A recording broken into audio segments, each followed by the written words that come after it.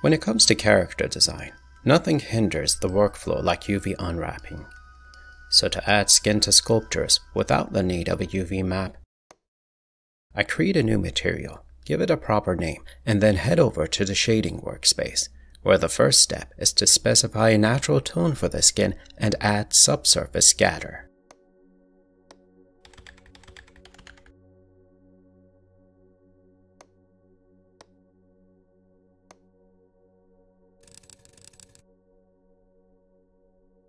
But, as it stands, this skin is a bit too smooth to look natural.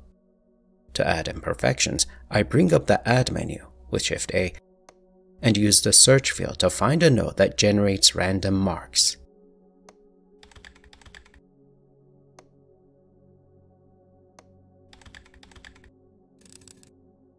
A node to fine tune those marks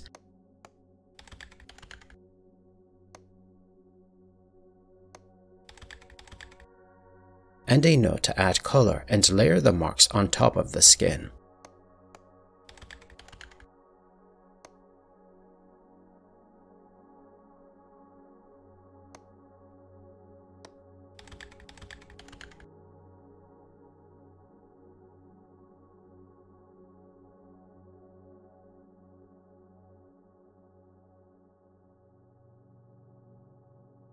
Now, I have imperfections and they cover the entire surface of the skin, but in reality, these should be more prominent over regions that receive direct sunlight. To simulate this effect, I can either paint a mask to explicitly define the sun-worn regions, or I can take an implicit approach and distinguish those regions procedurally.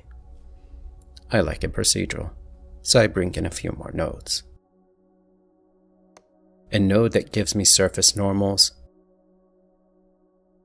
a node that lets me combine those normals with a vector representing direct sunlight, a node to let me adjust the area of sunlight exposure, and finally, a node to integrate the exposed area with the random marks from the previous branch.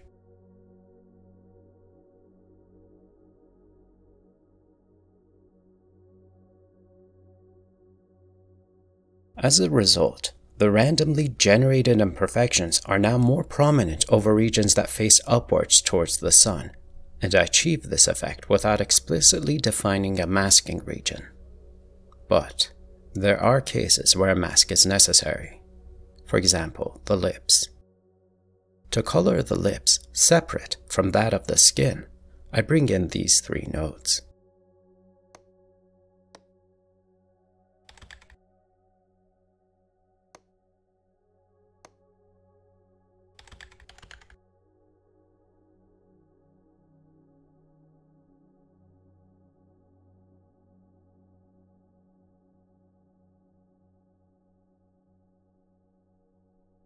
In particular, keep an eye on the attribute node.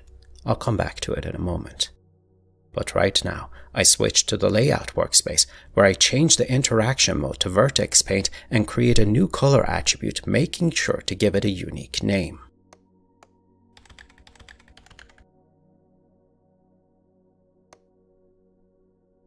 I then select the airbrush for its soft edge and paint over the lips, carefully refining the mask before I head back to the shading workspace where all that remains is to type in the unique name of the attribute I just created.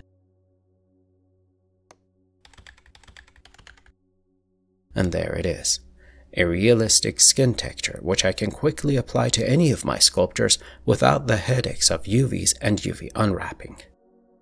But before you start using this, a few points to keep in mind. First, depending on the size of your sculpture, you'll need to adjust the size of the imperfections. Second, if you need more than one mask, you can create more attributes, paint the vertices, and bring them into the shader with additional attribute nodes. And finally, if you want to bring your sculptures to life, consider watching this next video. Let me know what you think in the comments. And until next time, take care.